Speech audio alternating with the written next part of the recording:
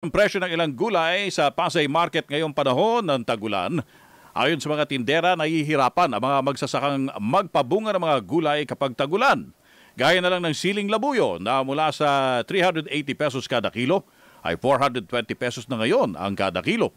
Tumaas din ang presyo ng kada kilo ng carrots, cauliflower, kamatis at talong.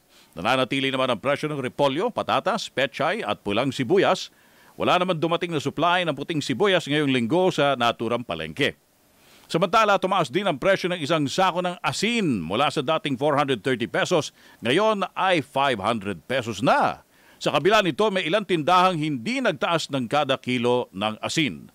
Una nang sinabi ng Department of Agriculture na may kakulangan sa supply ng asin dahil sa problema ng produksyon nito sa bansa.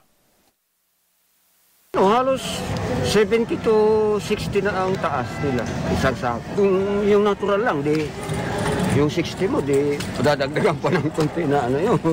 Wala ka na naman tutubuin sa isang, katulad sa asing, piraso na lang ang tutubuin mo. Para makumpleto lang yung mga items namin.